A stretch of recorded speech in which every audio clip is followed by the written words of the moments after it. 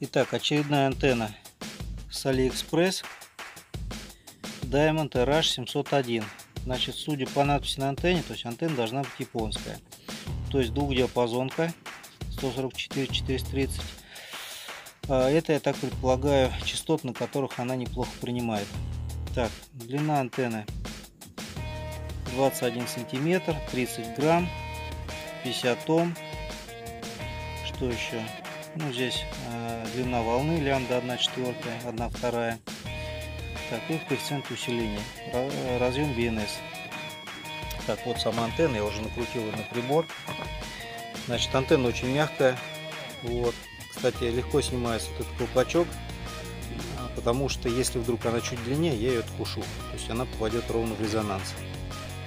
Вот такая антенка. То есть общаться будет комфортно с этой антенной, потому что она легко принимает форму, допустим, если где-то носить под одеждой. Вот, и глаз ей уже не выплыл, потому что она довольно-таки мягкая. Так, давайте посмотрим, что на приборе она покажет. Прибор Викэксперт А600. Сейчас я его включаю, но, естественно, я отойду в тенек, чтобы не бликовал экран. Так, смотрим данные на антенне. Made in Japan.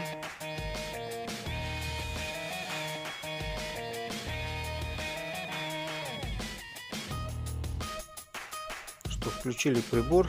Так, давайте посмотрим, что у нас показывает. Так, 145 500.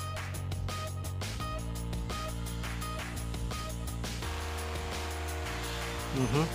То есть резонанс есть. Сейчас мы посмотрим, где он конкретно.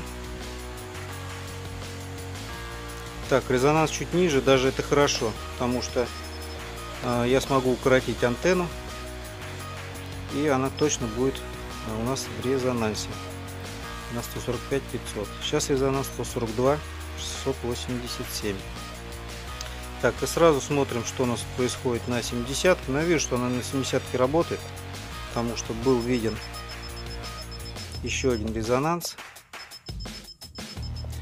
Как правило 70 а, в двухбандовых таких антеннах она немножко смазана. Ну вот видите мы тут здесь тоже видим что она смазана. И резонанс у нас примерно на 480 мегагерц. Вот он он. Ну, чуть пониже. 465, наверное.